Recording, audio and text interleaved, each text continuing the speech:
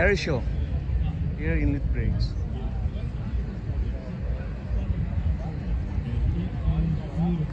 Look high up in the sky as the smoke comes on.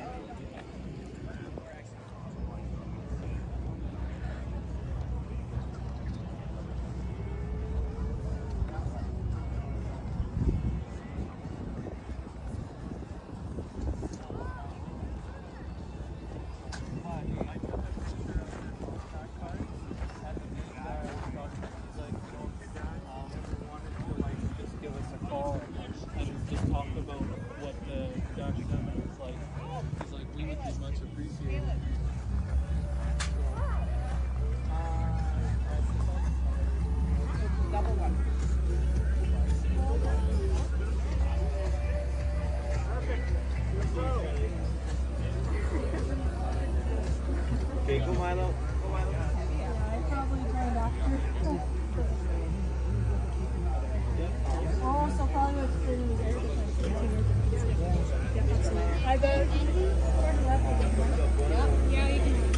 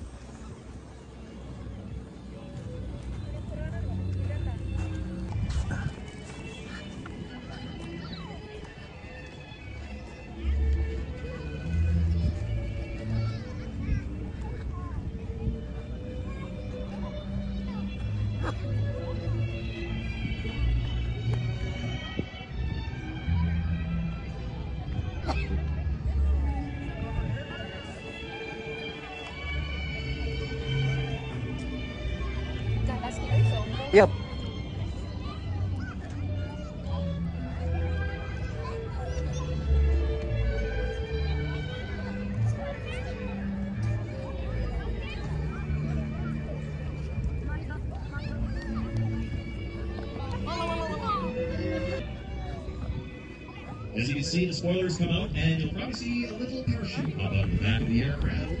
And notice there are no engines on board, which is miles very gently on the single wheel landing gear that he has on that machine.